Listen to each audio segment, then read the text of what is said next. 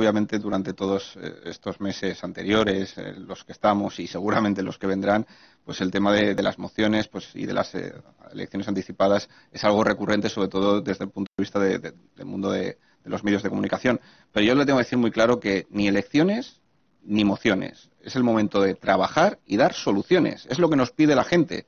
La gente no quiere que sigamos en, este pericueto de, intentar decir que uno, que otro, que va a ocurrir. Lo que la gente quiere son soluciones, porque además las necesitan y se los merecen.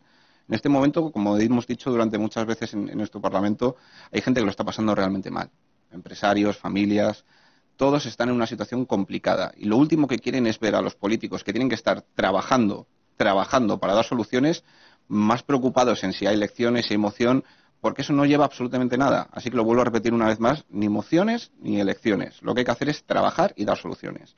Y con respecto al tema de los datos, yo una vez más también vuelvo a pedir sobre todo pues unidad y respeto. Yo creo que lo que tenemos que hacer es una vez más sentarnos a una mesa, trabajar de forma leal todos y, como digo, intentar solucionar los problemas que, realmente tienen en estos momentos. Que uno diga, que el otro diga, no va a solucionar absolutamente nada. Por eso yo creo que tenemos que ser conscientes de la responsabilidad que tenemos y trasladarle a los madrileños que tanto el Gobierno como el Parlamento, como todas las eh, administraciones, incluido el Estado, están trabajando de forma conjunta y coordinada para solucionar los problemas que tenemos en esta pandemia. Ya no solamente en la Comunidad de Madrid, sino en toda España.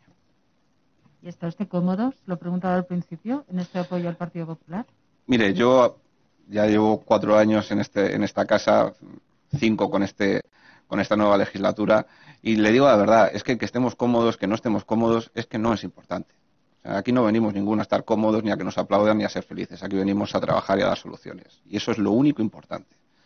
Gobernemos con el PP, gobernemos con quien sea, sea el Partido Popular, sea Podemos, sea Vox, sea quien sea. Aquí venimos a dar soluciones y a trabajar, no a estar cómodos.